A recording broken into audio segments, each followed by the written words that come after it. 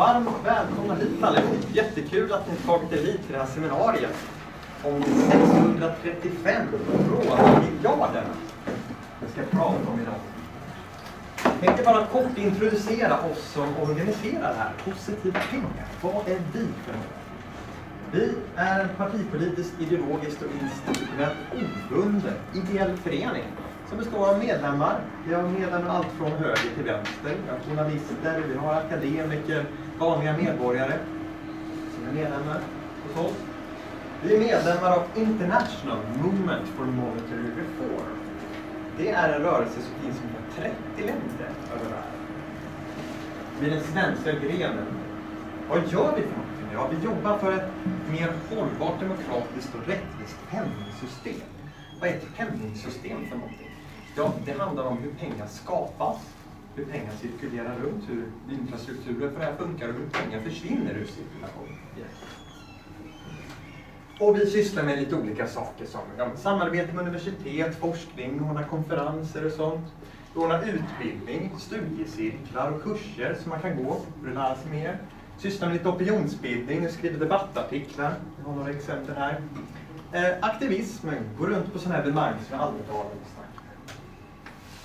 Ja, men till ämnet. De här 635 miljarderna, var kom de ifrån? De skapades år 2020. Magdalena Andersson, hon sa så här, ja, vi sparar i ladorna under goda år. Sen så kan vi använda resurserna vid kriser. Så det här låter ungefär som att det har sparats upp massa pengar här i ladorna tidigare i sparkrisen och så kom coronakrisen så plockade man fram de här pengarna ur sparkrisen. Var det så här det gick till? Vi kollar på vad Statistiska centralbyrån säger. Hon sa ju att penningmängden M1, den växte alltså med 19,3 procent under 2020. Det här är alltså en ökning av penningen. Det här är nya pengar som kommer till. Det här var ingenting som togs från ett sparat lager i ladorna. Det är nyskapade pengar som det rör sig vi kan ju konstatera att den här idén om att, ja, som Magdalena Andersson kom med, den är alltså felaktig. Det här var det inte. Var kom pengarna ifrån då? Var det så att centralbanken skapade de här pengarna kanske? Det står ju i en del läroböcker så här att ett lands centralbank kontrollerar penningmängden. Det står i den här läroboken i ekonomi. I den här så står det att om Federal Reserve adderar en dollar i ekonomin, då ökar penningmängden exakt en. Kan det vara så här? Om vi kollar vad Riksbanken skrev på sin hemsida under coronakrisen, de uttryckte också ungefär det här då. De gav citat lån till banker för vidare utlåning till företag. Så hade de den här bilden att här ger Riksbanken pengar till bankerna och så tar bankerna de här pengarna och lånar vidare till företag. Så skriver de på sin hemsida att dessa nya pengar kan bankerna använda i transaktioner med låna ut till företag och hushåll eller köpa andra tillgångar. Kan det vara så här pengarna kommer ifrån? Det verkar ju ganska rimligt kan man ju tycka. Ja, vi kollar vad lite andra centralbanker säger. Bank of England säger så här att hur pengar skapas idag, det skiljer sig från beskrivningen i många ekonomiböcker. Banker lånar inte ut hushållens sparande.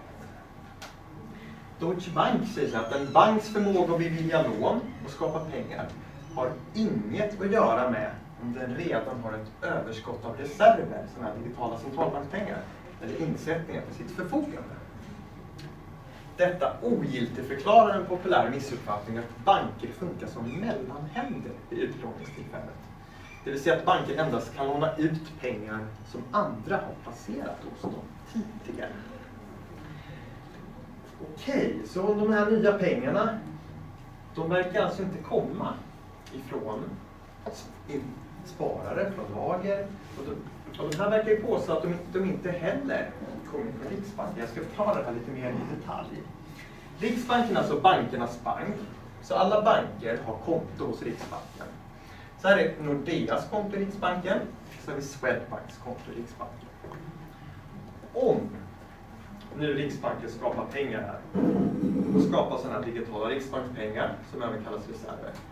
Och sen så sätter de in dem nu på Nordeas konto i Riksbanken. Vad kan Nordea göra med de här pengarna? Ja, de kan betala andra banker som också har konto i Riksbanken. Det är ett slutet betalningssystem Pengarna kan bara cirkulera fram och tillbaks i det här systemet. Det är allt som är möjligt. Så, bankerna kan använda sådana här reserver för transaktioner med varandra.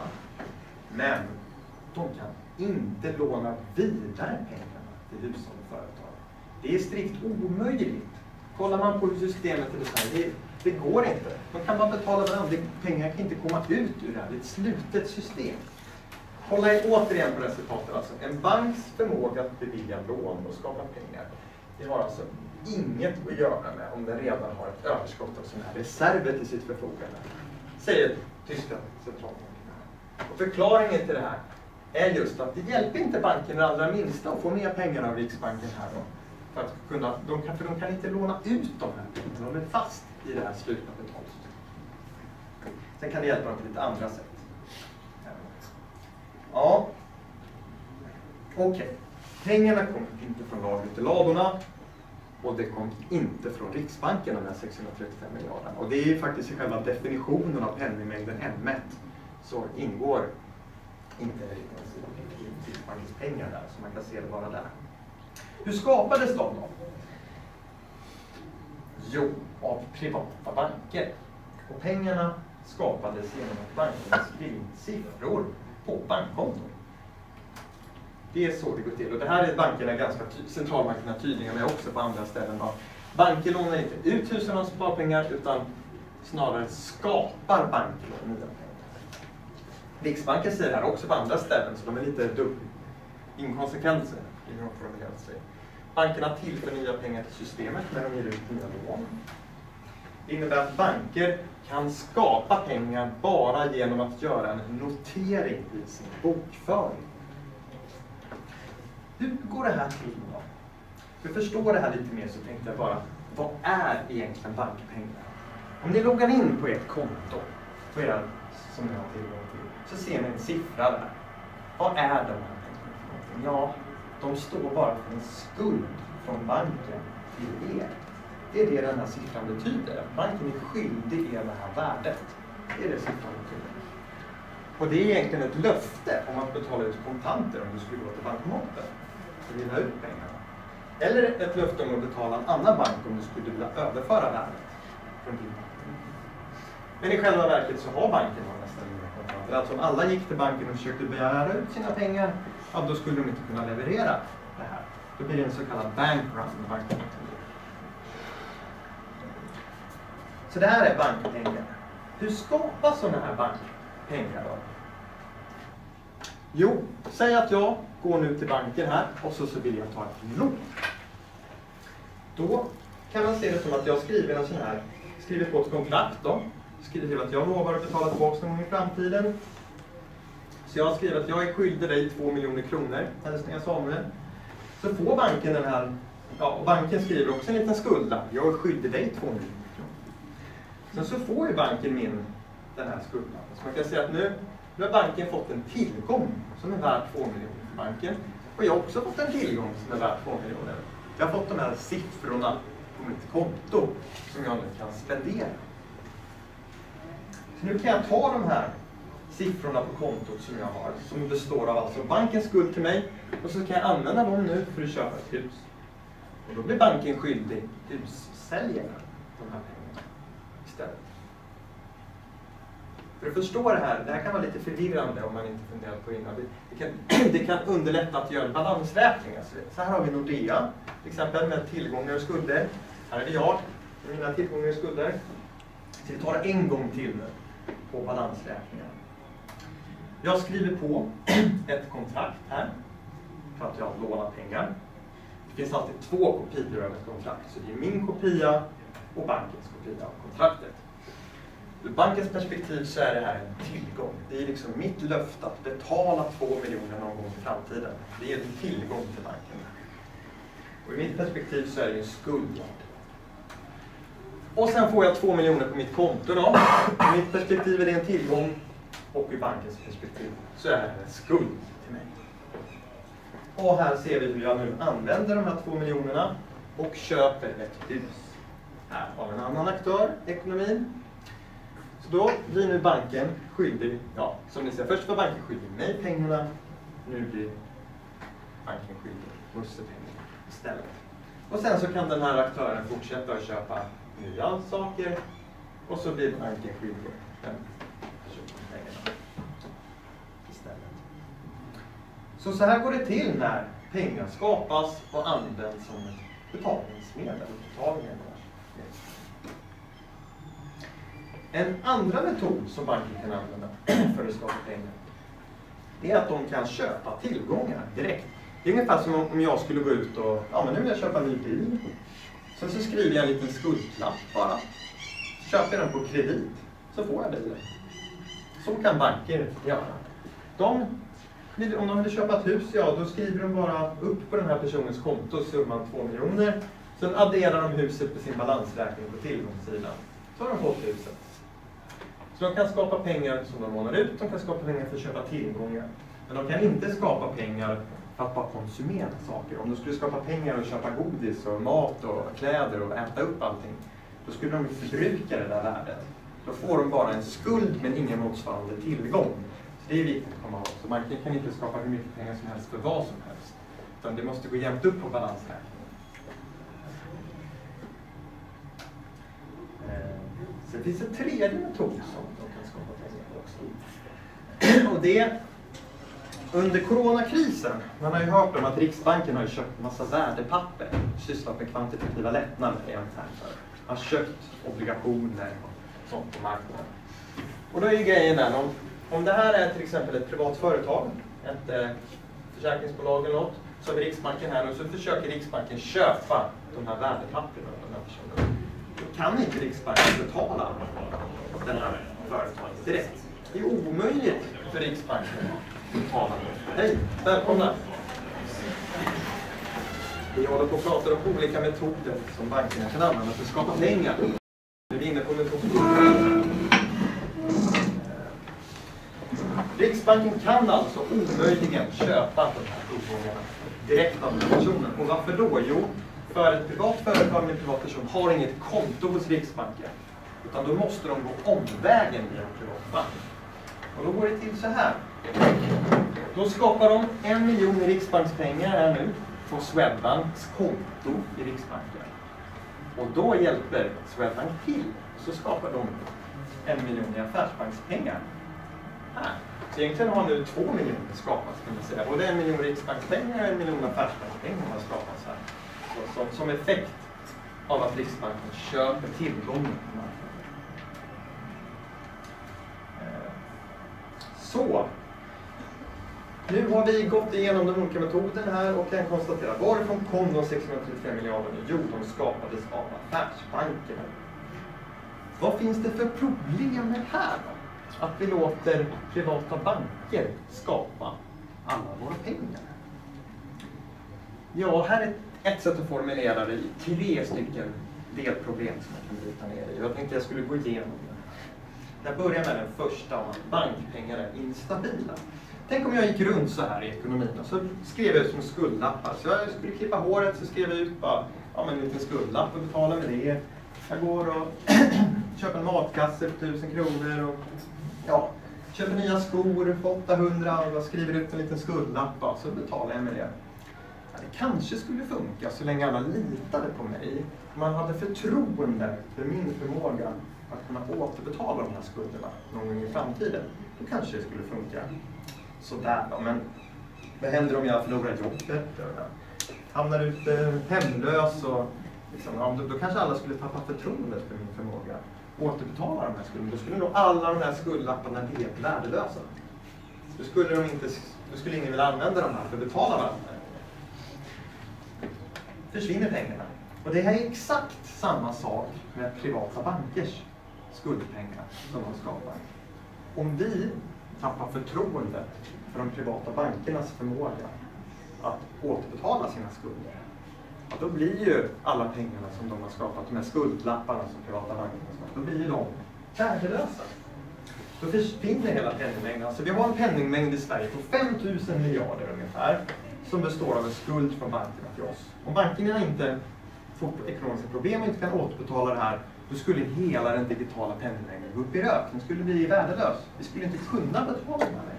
Och det här är helt oacceptabelt. Alltså, hela ekonomin skulle stanna. Det här kan inte staten acceptera. Man kan inte ha det så här. Och därför så finns det en rad subventioner och garantier. Statliga subventioner och garantier. Det finns bland annat insättningsgarantin. Och vad är det för något? Jo, det innebär att staten lovar att betala bankernas skulder om bankerna inte kan betala sina skulder själv. Det är det insättningsgarantin är. Det finns en insättningsgarantifond med lite pengar som täcker en liten del av penningmängden. Bankerna betalar in lite avgifter till den här insättningsgarantifonden. Men om det skulle bli en större kris så täcker, det, täcker inte det här på långa vägar. Då kommer staten in och Sen har man implicita garantier. Det är så att bankerna de vet ju att de är så stora och systemviktiga. De vet ju att deras pengar som de skapat krävs för att ekonomin ska funka. Det är en central infrastruktur. Så då vet de att ja, det är ett problem, ja men då kommer staten ganska sannolikt rädda dem och lösa situationen på något sätt. Eh, och det här skapar en situation som jag brukar kalla moral hazard. Där bankerna kan ta mycket större risker än de annars skulle gjort. Och tar de större risk så kan de också tjäna mer pengar i goda tider. Men om någonting går snett ja, då, då, ja, då, då, vet de att stat, staten räddar dem, så det, det är ofarligt att ta stora risker. Så en statlig utredning har räknat ut att bankerna kan tjäna 26 miljarder årligen extra ungefär i extra vinst på grund av att de förväntar sig att de ska bli räddade. Riksbanken räknar ut på ungefär 30 miljarder, så det är lite olika uppskattningar. Eh, jag ska inte gå igenom alla de här i detalj, men jag kan ta valutareserven också. Eh, bankerna har ju skulder som är nominerade i andra valutor också. Alltså de, de kan ha skulder i dollar, euro och sånt. Så därför har Riksbanken lånat upp en valutakorg med dollar, euro och andra internationella valutor. Så att om bankerna skulle få problem med ett krisnöre så kan Riksbanken snabbt låna ut de här valutorna till bankerna för att rädda dem. Det skulle bli krångel. Men det här kostar ju en massa räntekostnader för skattebetalarna att Riksbanken har det. Ungefär 0,5 miljarder per år som man måste betala men nu när räntorna stigit är det här ett högre belopp. Jag har inte uppdaterat den här siffran på många år. Ehm. Ja, en annan subvention är det här med bankerna de litar inte på sina egna pengar som de skapat när de ska betala varandra. Utan Riksbanken erbjuder ju ett betalningssystem exklusivt enbart för storbankerna. Där de har konton hos Riksbanken och kan betala varandra. Det är också en, det är också en subvention som att staten erbjuder det här. Så det här är alltså något som är nödvändigt för det här finns alltså för, för att vi ska kunna använda bankernas pengar som betalningsmedel på ett säkert, och tryggt och stabilt sätt. Så att inte de här pengarna ska gå upp i rök om det skulle bli Sen har de lyckats förhandla till sig en massa fler subventioner också. De här subventionerna är inte systemviktiga, men det är bara för att bankerna är så mäktiga så att de lyckas förhandla till sig det. Eh, om man eldar på bankernas utlåning med statliga subventioner och garantier. Och de blir mer riskbenägna, ja då måste man också försöka strypa åt bankerna så att de inte tar för stora risker. Och därför så finns alla de här Basel-reglerna. Eh, det var ursprungligen, Basel 1-reglerna var ungefär 30 sidor, sen kom Basel 2, 347 sidor, Basel 3, 616 sidor. Utökades till, eh, ett, ja, de kollade senaste dokumentet, jag tror det var 1800 sidor. Eh, med, med de senaste regleringarna från, från BIS. Eh, Andreas Cervenka räknade ut att när Basel 3 skulle implementeras, så det här blev 60, 70 000 heltidsanställda byråkrater som fick jobba med att implementera det här i, i Europa. Bankerna de behöver fylla i ungefär 30 000 till 50 000 boxar i 60 olika formulär för att kunna uppfylla de här regelverken. Så det här är ju ganska, ganska galet. Och när man stavar ut alla detaljregler kring, dem, ja, kring, kring Basel-reglerna så blir det ungefär upp till 60 000 sidor regelverk totalt Så det här är ja, fruktansvärt ineffektivt. Och vad är problemen med de här regelverken då, utöver kostsam effektiv byråkrati?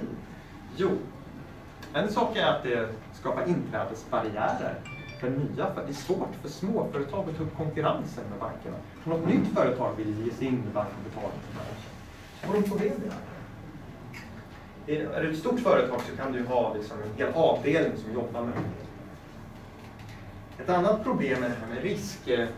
Vad, vad gör regelverket? Jo, regelverket försöker poängsätta alla skulder och tillgångar som banken har i detalj, försöker poängsätta dem och hur riskabla de är. Det är en ganska svår uppgift att göra det, för bankerna kan hela tiden eh, hitta på, göra innovationer och göra nya typer av tillgångsslag, plocka ihop olika tillgångar på olika sätt. Och splitta upp dem och lägga på nya andra balanser. Så det är väldigt svårt att få till den här, här regelverken. Men det de gör är att de jobbar på mikronivå. Så de försöker identifiera risk vid utlåning och då är det ju så ja, att låna ut till produktiva småföretag och medelstora företag. Det är för riskabelt. Att låna ut till eh, stora företag det är mindre riskabelt. Så de här regelverken de har lyckats ganska bra att begränsa utlåning till små och medelstora företag men inte särskilt bra till storföretag. Det kanske inte är riktigt det som man vill åstadkomma. Eh, och det här har gjort att det har vuxit fram, en eh, andra, det har vuxit fram andra typer av banker. Det finns sådana här peer-to-peer-banker och annat. Tessin är något sånt där låneinstitut som lånar ut till fastighetsprojekt och annat. Till sånt som bankerna då måste säga nej till på regelverket. Men man lyckas inte begränsa risktagandet på makronivå. Och det är liksom, ja, jag, jag, jag behöver inte gå in på det i detalj, men det, man kan se det som ett sorts fångandes dilemma där. Även om varje, även om på mikronivån, om den enskilda utlåningen inte är osäker i sig, så kan det bli ett problem att, att tillgångspriserna i hela systemet stiger ända tills det nått en sån nivå så att det blir makroekonomisk instabilitet i hela systemet. Så när någonting kraschar, kraschar allting. Så det är liksom inte den enskilda tillgången som är instabil, utan det är hela liksom, systemet som är instabilt. Sen har vi ett eh, till problem här då. Eh, jag, jag, det, det, första problemet som, som vi diskuterat nu då, ja, jag, jag kan backa tillbaka till strukturen så ser ni. Nu har vi diskuterat det här att bankpengar är instabila, de består av en skuld och därför så måste det finnas statliga subventioner och garantier för att eh, eh ja, rädda de här pengarna om det skulle bli problem. Och det ledde alltså till att vi eldade på bankerna så de ville låna ut mycket mer och ta större risker. Och det ledde till att vi behövde de här reglerna för att strypa åt dem. Eldar man på dem måste man också strypa åt dem med regler. Så det är det här första. Så nu ska vi gå in på det här med bankerna. Ja, andra problemet här. Eh, senaste 20 åren så har bankerna expanderat penningmängden med ungefär 8% årligen. Så de har ju skapat pengar i en ganska snabb hastighet. Och vart har de här pengarna gått då? Jo, de har ju mest lånat ut till köp av finansiella tillgångar.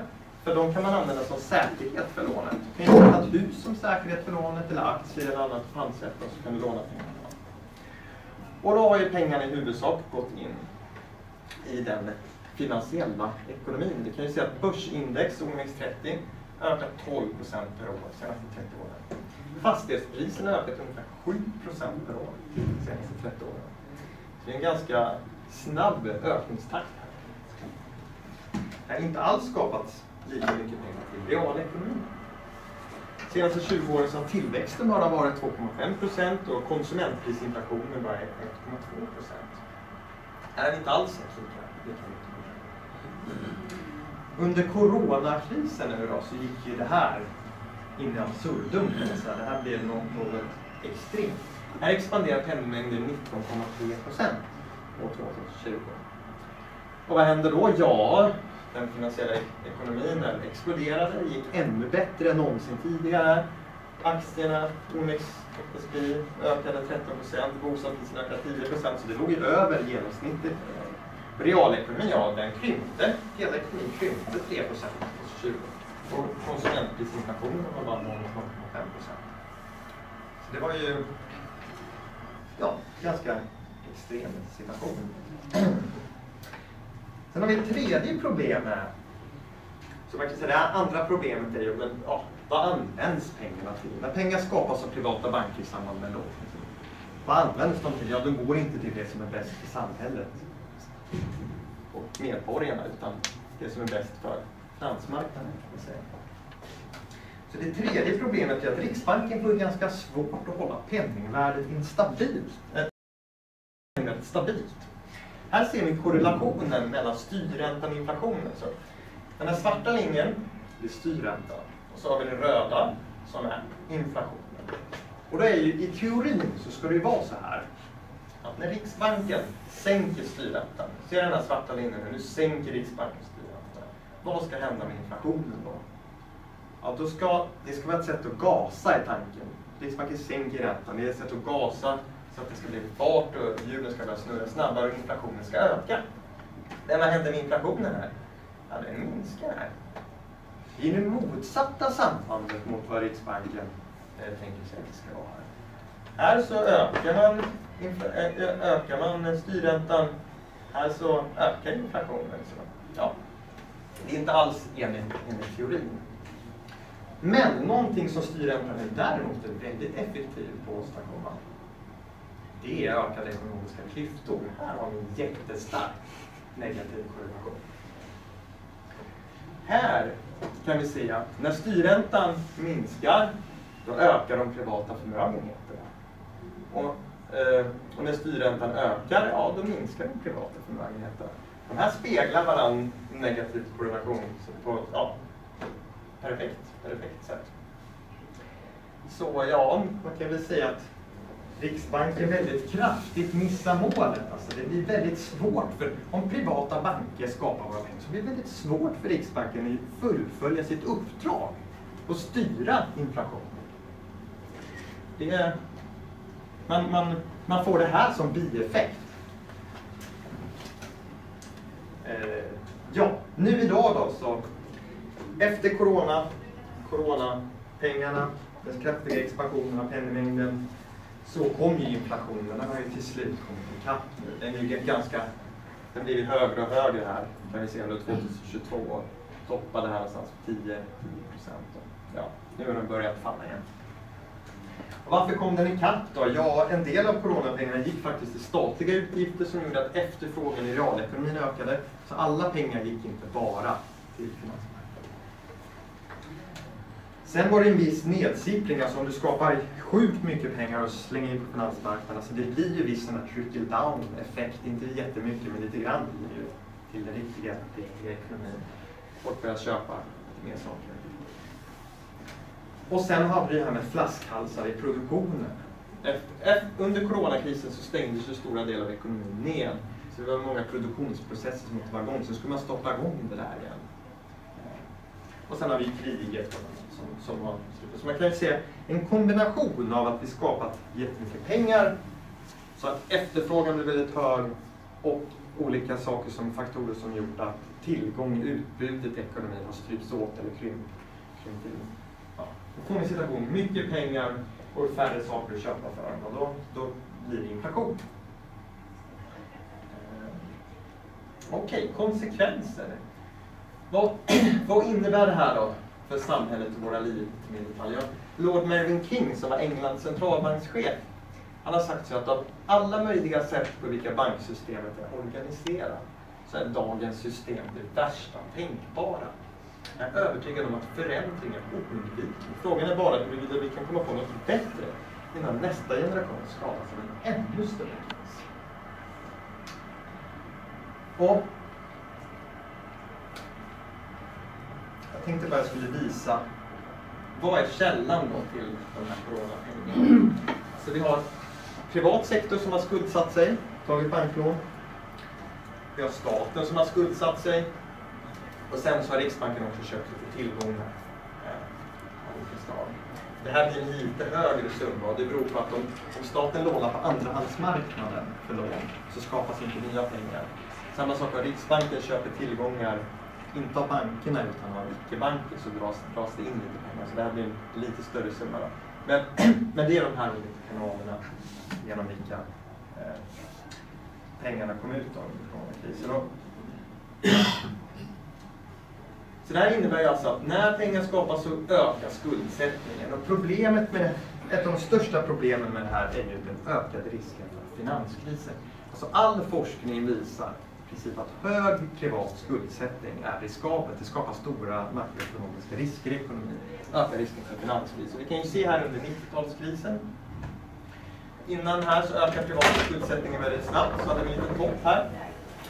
Innan finanskrisen 2008, samma sak. Här ökade privata skuldsättningen väldigt snabbt. Hade en topp där, sen så blev det kris. Ehm, så det här är ett allvarligt problem. I ett sånt här scenario där den privata hög, skuldsättningen är väldigt hög så blir hushållen och företagen väldigt känsliga för räntehöjningar. Ökar räntan lite grann så måste vi lägga en mycket större andel av våra inkomster på att betala, återbetala på lånen. Och vi kan ju se att innan finanskrisen 1992-2008, vad hände för något då? Ja, centralbankerna höjde räntorna för att bromsa upp efter att det skapats för mycket pengar. Samma sak här under 2008, centralbanken höjde räntorna. Och vad är vi för situation idag? Jo, centralbankerna höjer räntorna ganska kraftigt för att bromsa här. Så jag skulle säga att det finns en hyfsad risk att något liknande händer, man kan ju aldrig veta. Och då kan man komma in i en sån här negativ spiral. Räntehöjningar orsakar lägre efterfrågan och blir lägre intäkter för företagen. Personal börjar varslas och det blir arbetslöshet. Och folk får lägre inkomster och de får lägre kreditvärdighet och folk kan låna mindre pengar och så blir det mindre nya pengar skapas för ingen lånar nya pengar och en större andel av inkomsterna går till amorteringar och räntor. Och så pengar, pengar försvinner, penningmängden krymper ja, idag, hur ser det ut idag? Är penningmängden, ja, vi befinner oss i en situation där den krymper alltså. Minskar med ja, 10 procent. Varför då? Därför att eh, på, på, grund av det här kan man säga att vi återbetalar, vi amorterar mer på skulderna än, än vad folk tar nya lån. När man amorterar försvinner pengar, när vi tar lån så skapar man och då finns det ju risk att man kommer in i en sån här negativ spiral. Det kan såklart brytas, vi kan aldrig veta, men det finns en risk i alla fall. Nu är klockan 15.42 och nu ska vi se nästa seminarium tänkte vi dra igång 16.00 va? Det var ju så. Vi vill ha lite paus innan också, lite frågor. Jag tänkte bara kort nämna ekonomisk ojämlikhet också. Här ser vi en stark korrelation mellan att bankerna skapar pengar och att ojämlikheten i inkomster ökar. Och förklaringen är väldigt kortfattad. Nya pengar skapas till köper av tillgångar, tillgångspriserna ökar. Folk säljer sina aktier och fastigheter till de här höga priserna och får ränteintäkter och annat. Och då så ökar folks kapitalinkomster. Och eh, ja, då ökar, då ökar ojämlikheten i inkomster. man kan säga att 2020 så var det så här mycket inkomster från kapital Eh, vi, vi, vi hinner inte gå igenom allting nu. Jag ska lite kort nämna bara vårt lösningsförslag. Vad tänker vi positiva pengar kan göras åt den här, den här situationen? Ja, vi tycker då att man, ett sätt att formulera det här på det är att vi vill separera statliga pengar från privata pengar. Och sen vill vi att Riksbanken ska börja ge ut de här pengarna till samhället som medborgarnas bästa. Så vad innebär det här för någonting? Som vi pratade om så idag så finns det två typer av pengar. Vi har statliga pengar, så har vi privata pengar. Då kan vi dela upp de statliga i, i sedlar och mynt och i centralbanksreserver. Som är något som enbart bankerna har tillgång till, som vi pratat om. Så har vi de privata pengarna och då har vi sådana som är statlig uppbackning, subventioner och garantier. Det är de här bankpengarna vi snackat om. Och sen finns det sådana som inte har statlig uppbackning som cashpoints, bonuspengar, lunchkuponger, kreditpengar av olika slag. Så vårt förslag kan väldigt enkelt bara formuleras så här.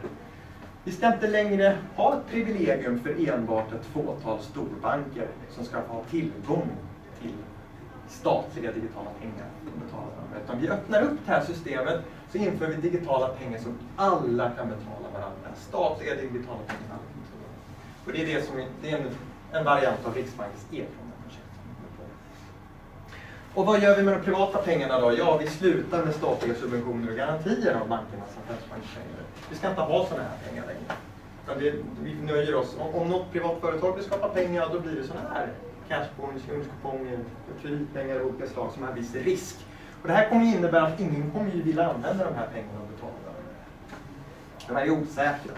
De, de blir inte särskilt stora i omfattning. Utan för det här kommer bli samhällets huvudsakliga eh, pengar som, som vi betalar. Så det, det, är vårt förslag i ett nötskal och sen kommer ju frågan då när penningmängden behöver expanderas, när nya pengar ska skapas, hur ska de här nya pengarna ges ut? Och då är vårt förslag att Riksbanken skapar de här nya e-kronorna och kan distribuera dem direkt till medborgarnas e-kronkonton eller till statskassan. Och vad gör bankerna då? Ja, bankerna är rena mellanhänder. De kommer syssla med att låna in och låna ut pengar från företag och staten och från, från medborgarna. Och om pengar behöver dras tillbaks så kan Riksbanken göra det med en likviditetsavgift på alla konton. Dra tillbaks pengar. Det finns också varianter av det där de enbart drar tillbaks pengar från statskassan och så vidare. Så det finns lite olika sätt som man kan göra det här på. Men grund, grund den viktigaste grunden här är liksom för att stimulera och få fart på inflationen så ger Riksbanken ut nya pengar och för att eh, dämpa när det blir överhettat så kan Riksbanken ta tillbaka pengar. Och att nu så kan Riksbanken alltså ge ut pengar utan att någon behöver skuldsätta sig. De privata skulderna måste inte öka för att vi ska få ut nya pengar.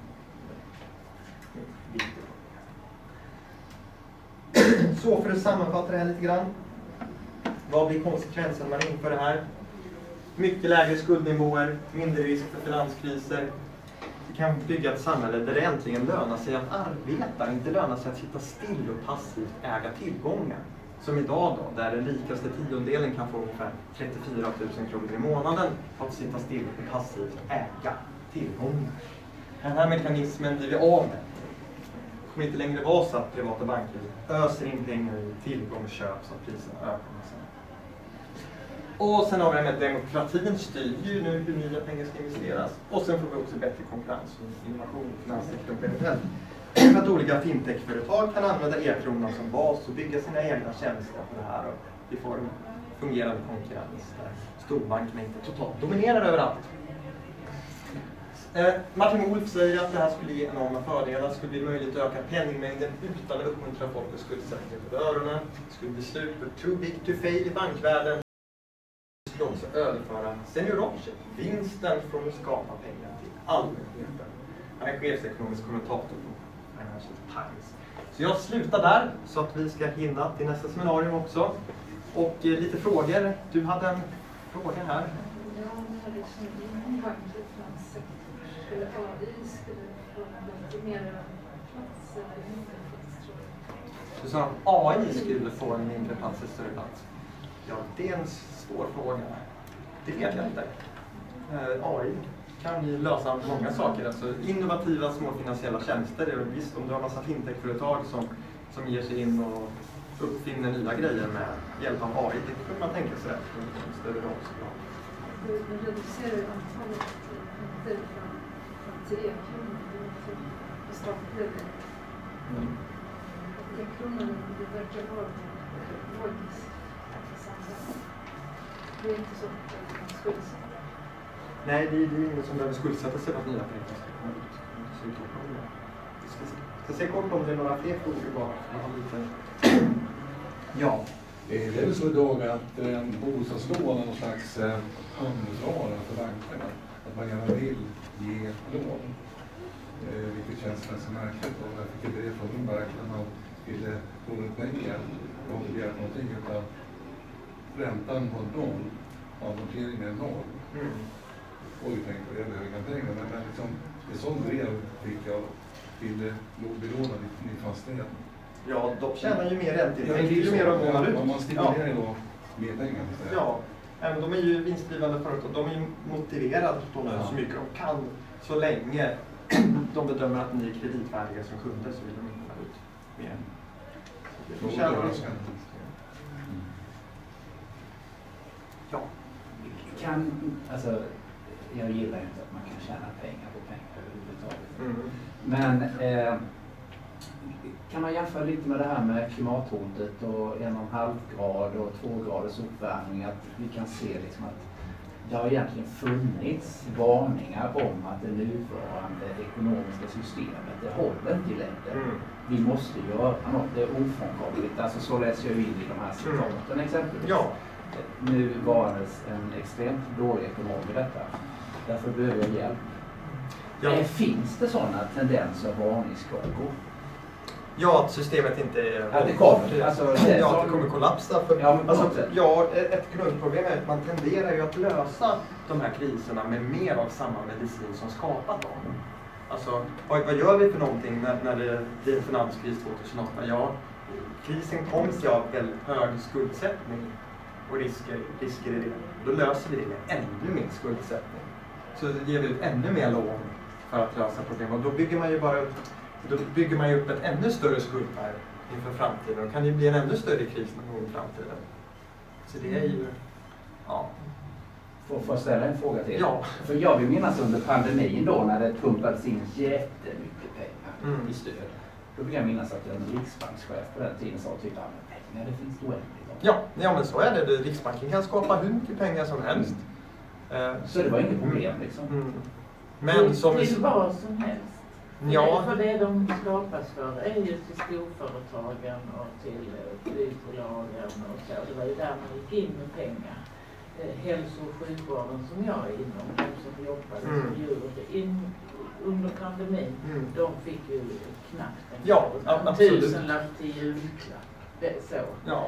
Då kändes det ju inte som det fanns oändligt med pengar. Riksbanken måste ju stödja och hjälpa finansiella företag i kriser. Det är det det, är det de kan göra ja. idag i dagens system. Skulle man behöva, om vi hade reformerat om det så kunde ju Riksbanken då istället skapa nya pengar och ge ut till statskassan eller Ja. medborgarna. Då hade vi ju fått ut dem i realekonomin. Men där finns det inte oändligt. Eh, Utan det finns bara oändligt i en Man- kan väl säga så här att det går, att rent teoretiskt så går det ju att skapa hur mycket pengar som helst. Men problemet när man skapar för mycket pengar är att det blir inflation någonstans. Idag har det blivit inflation på fastighetspriser och tillgångspriser. Skapar man för mycket pengar ut i realekonomin till sko- skola, vård, omsorg, köpa saker och så vidare. Så kan man få inflation här på, på varor och tjänster. Där. Det är, det är en, en balans där mellan. Ja. står det tredje. Skulle överföra sig... Sen, seniorage. Seniorage, det är en term för vinsten från att skapa pengar. Det är, det är en term för vinsten från att skapa pengar. Pengaskapandes vinst. Ja, kan man säga. Det är en ja, term som använda. Men nu behöver vi en liten paus inför nästa seminarium som